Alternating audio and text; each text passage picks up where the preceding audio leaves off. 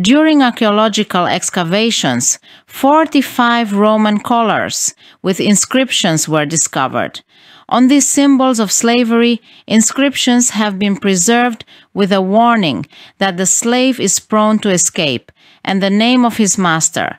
But there was no information on the collars about how the slave was treated. The best preserved slave collar is Zoninus. On it in Latin letters was written, I ran away. Catch me. If you return me to Mr. Zoninus, you will be paid one solid.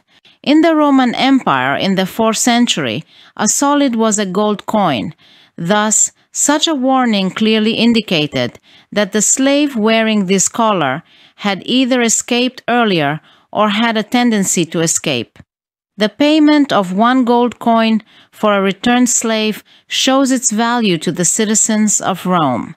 It can be used to judge the nature of Roman society, where people were more likely to return property to the owner and receive remuneration for it. Now let's talk in more detail about this collar. This slave collar is the only perfectly preserved collar with a tag attached with iron wire it can be considered a clear example of the existence of urban slavery during the Christian Roman Empire.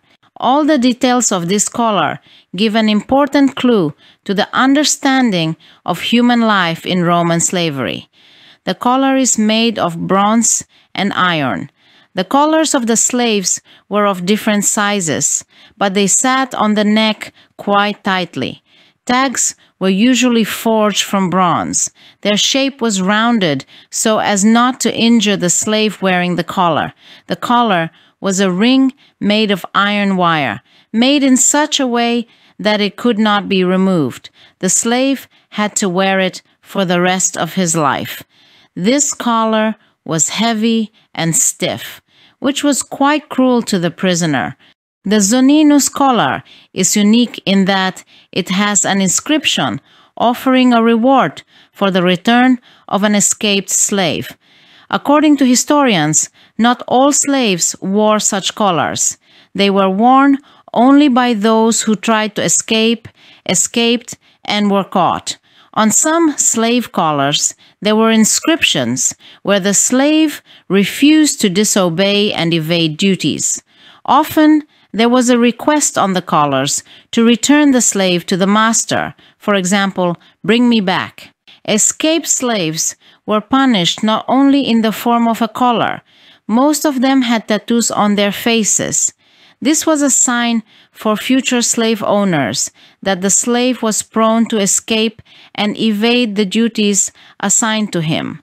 Thus, the owners of runaway slaves tried to demoralize other slaves by suppressing their desire to gain freedom by fleeing. It also served as a warning that a slave was just property and nothing more. As on the Zoninus, the name of the owner was often indicated on the collar, as well as his address. This helped to return the escaped slave to the slave owner. The Romans considered slaves illiterate and therefore unable to realize the danger of outgoing information that hung around their necks. Zoninus was quite strict, but not all collars were like that. During the excavations of Roman landfills and sewers, archaeologists have found a large number of examples of slave collars. In addition to heavy non-removable collars, there were also those that could be removed. Some of them were broken, most likely by slaves who achieved freedom. The non-removable heavy collars were a warning to anyone who bought such a naughty slave and to the prisoner who wore it. The slave collar was a symbol of eternal slavery in the Christian Roman Empire of the 4th century. According to the slave collars, modern scientists were able to understand how Roman citizens treated the people they kept in captivity. In any Roman house, there were slaves, which were several times more than the owners. Therefore, in order to keep them in obedience, the slaveholders took such harsh measures. the masters were always in suspense that the slaves might rebel against them. Zoninus and similar collars are a vivid reminder of the brutal reality of life in the Roman Empire. The state was not only dependent, but was also afraid of its slaves. In order to survive, Rome did everything possible to preserve the slave system, keeping its prisoners in a tight grip. According to some historical sources, about a third of all the inhabitants of Rome were slaves. Slaves were the main labor force that brought profit in trade, entertained and served the Romans, engaged in crafts and construction, cultivated fields, and filled brothels. The Romans believed that without slaves there would be no empire, but the slaves themselves did not want to put up with this state of affairs. They often staged uprisings. Information about three major revolts of Roman slaves has reached our days, the first of which was the Eunuch War. This uprising took place in 135 132 BC. The second uprising was raised by Salvius Tryphon in 104 100 BC.